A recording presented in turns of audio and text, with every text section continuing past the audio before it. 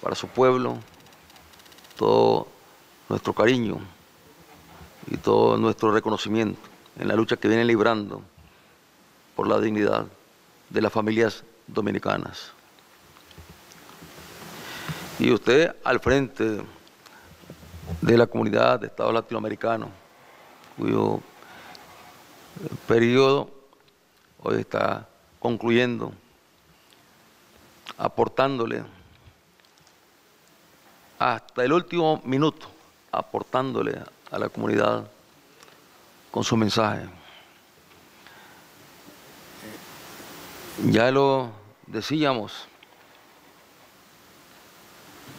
en su mensaje, el que pronunció usted el día de ayer por la tarde, por la noche, donde se refiere claramente a la situación que estamos enfrentando los pueblos latinoamericanos y caribeños, esta comunidad.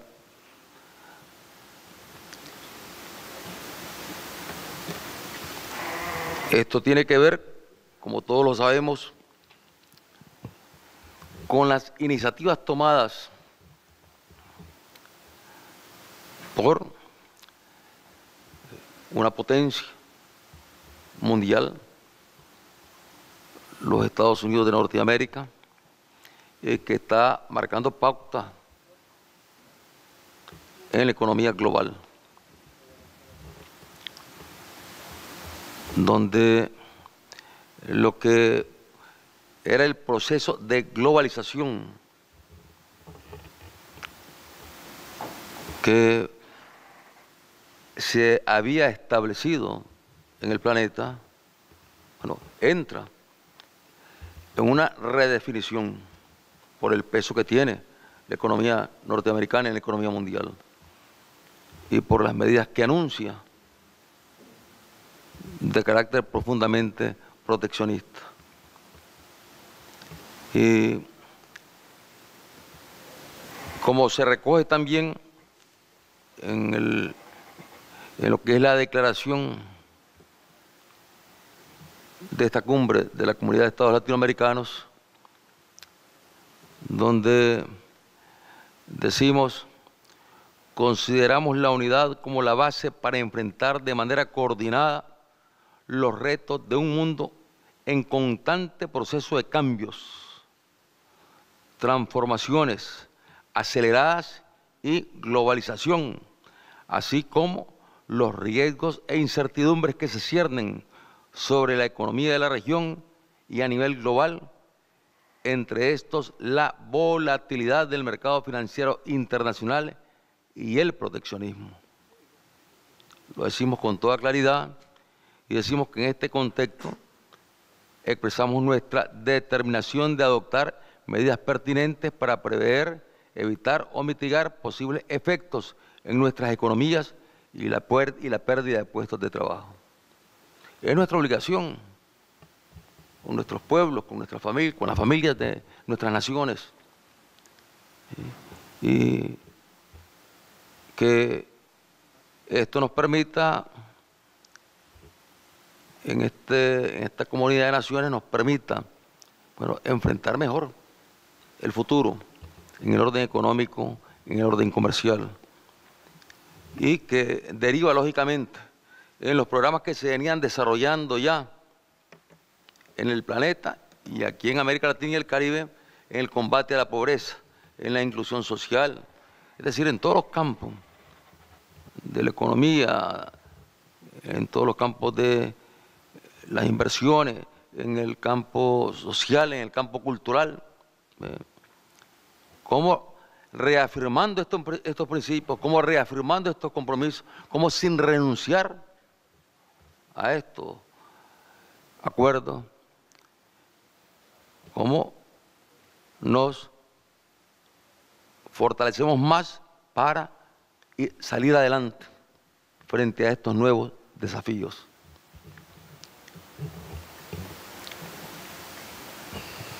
Quiero manifestar nuestra alegría al pueblo de Puerto Rico. Aquí nos acompaña una delegación de Puerto Rico, como siempre, encabezada por nuestro hermano Rubén Berrío, que todos ustedes bien conocen, y felicitarlo al pueblo de Puerto Rico, porque eh, en los próximos meses, si Dios quiere, ya estará en libertad Oscar López. Después de 35 años de, prisión, ya tiene 35 años, bueno, y meses de prisión. Ya para mayo estará en libertad. Bueno, una victoria de ese pueblo y que ha contado también con la solidaridad de la comunidad de estados latinoamericanos y caribeños. En esta realidad latinoamericana y caribeña, como bien lo señalaba nuestro hermano comandante, presidente de la hermana República de Cuba, Raúl Castro, general Raúl Castro. Bueno, tenemos que seguir luchando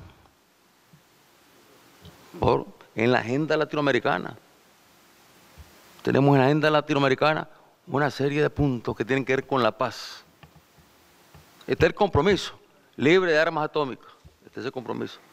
Este es el compromiso, zona de paz. La comunidad de Estados latinoamericanos y caribeños. Pero también está el compromiso, que ya es un compromiso también casi unánime de Naciones Unidas, que cese el bloqueo en contra de Cuba.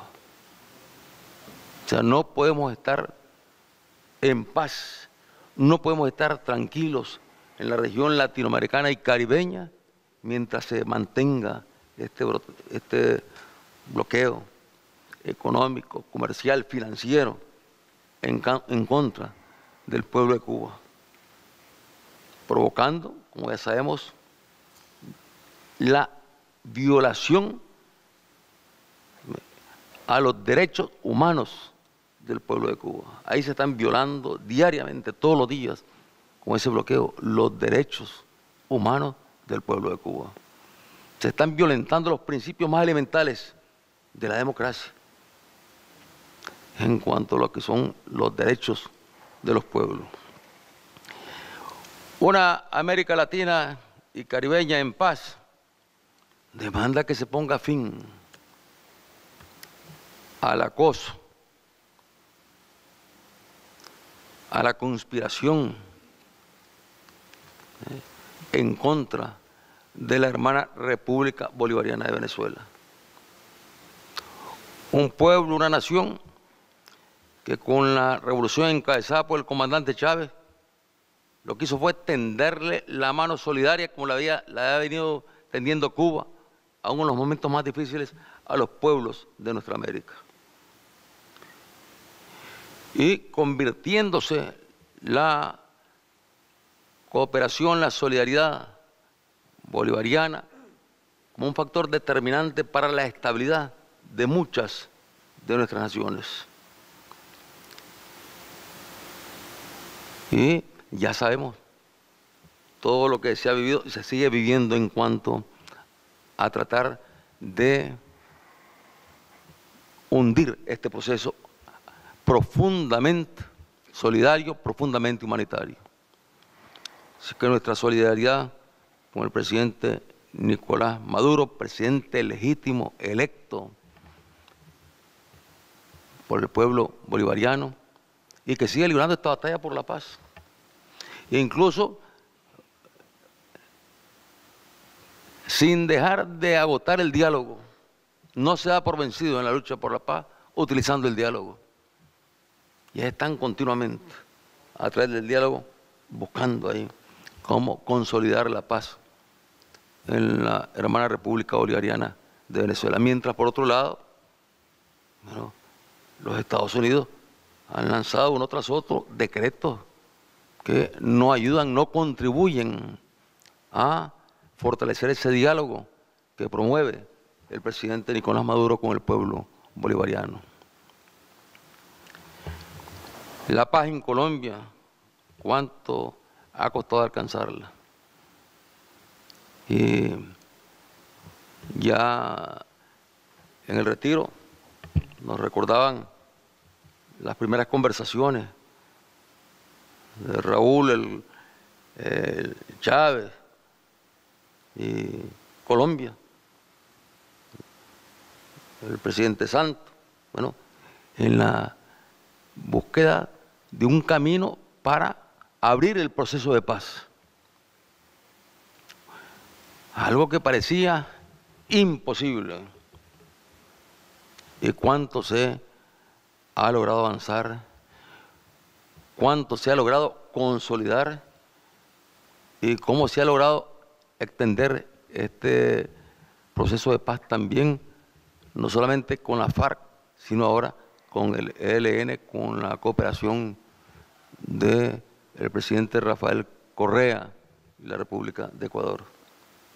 O sea, los latinoamericanos haciendo esfuerzos desde diferentes puntos, desde diferentes regiones, por la paz.